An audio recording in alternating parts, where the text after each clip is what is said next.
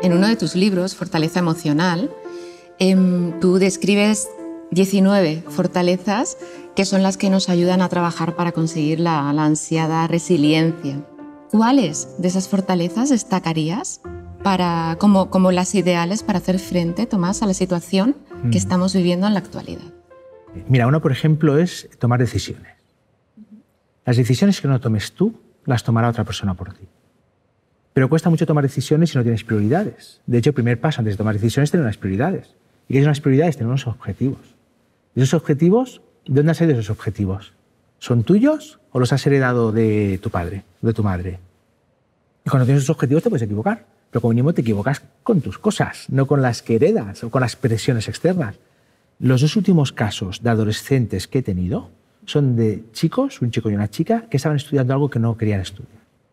Pero que racionalmente les iba muy bien estudiar eso, porque una, era una ingeniería, los ingenieros ahora tienen trabajo, ¿sí? y el otro también una ingeniería, eh, uno en telecos, otro en informática. Y una puede ser una magnífica psicóloga, periodista, abogada, tiene un control del lenguaje bestial, súper lista, súper inteligente, súper sensible. Y el otro puede ser un diseñador magnífico. Entonces venía por ansiedad. ¿Sí? Tomás, es que no voy a la universidad, voy a dejarlo y tal. Vamos a analizar. Pues que has tomado una decisión que no era correcta, no pasa nada. De hecho, no has tomado una decisión. Otra. Mmm analizar a las personas. Saber si la persona que tengo delante puedo confiar en ella o no. Si es un falso positivo o un falso negativo. Si, qué motivación hay detrás. ¿Sí? ¿Por qué me pide las cosas? ¿Mm? Eh, ¿Por qué viene conmigo? ¿Por qué está conmigo? es una fortaleza emocional que es muy importante, es crítica y que se puede aprender. De hecho, yo aquí animo a quien toque, eh, al, al, ministro, a la ministra de Cultura, Educación, a quien sea, que se decrete por orden ministerial la asignatura de psicología práctica en el colegio desde primero hasta la universidad. No educación emocional, no, psicología práctica. Entonces, analizar a las personas y la información que sale, ponerla en contexto es básico. Eh, ¿Qué más te diríamos yo? Tomar decisiones, analizar a las personas, automotivarte. Esto es muy importante. De hecho, eh, la automotivación va muy relacionada con la eh, responsabilidad.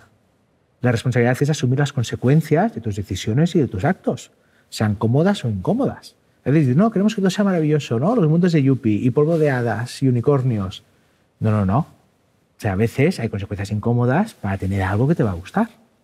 Entonces, poder automotivarte te permite poner en contexto lo que ocurre y perseverar de manera inteligente, no obstinada, sino inteligente. ¿sí? De hecho, todo esto que nos estás comentando Em, va muy al hilo con otro concepto que trabajas muchísimo y que has estudiado y del que hablas, que es el de la autoestima. Mm. Y yo como madre, bueno, pues no puedo evitar pensar en, mis hijos. ¿no? Em, ¿Puedes darnos, Tomás, alguna clave para mm. educar a nuestros chicos y chicas para que crezcan teniendo una autoestima fuerte, sana? Mm. ¿Qué claves nos puedes dar?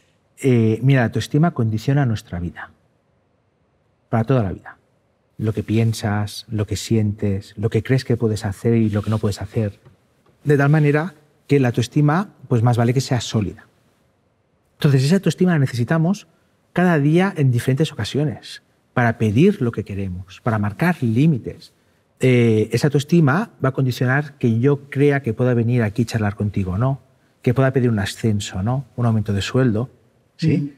Y esa autoestima es completamente subjetiva. Es decir, se forma a partir de los inputs que tengo en una etapa muy crítica de mi vida, que es la infancia. ¿Qué ocurre? Ocurre que en la época más vulnerable de nuestra vida estamos receptivos a los mensajes que nos dicen otras personas. Y eso influye en cómo va a ser nuestro autoconcepto, cómo yo me veo. ¿sí? Entonces, este autoconcepto me va a acompañar toda la vida.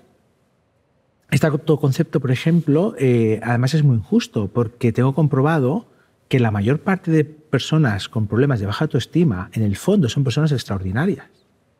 Porque sabemos que una persona extraordinaria es una persona inteligente, sensible, con recursos, coherente. No es cómoda. Y el, clavo que sobresale pide martillazo. ¿Y cómo lo hago? Pues generando inseguridad. Por tanto, ese concepto de esa persona es de no sentirse competente. ¿Mm? Entonces, claro, lo que nos digan tiene mucho peso.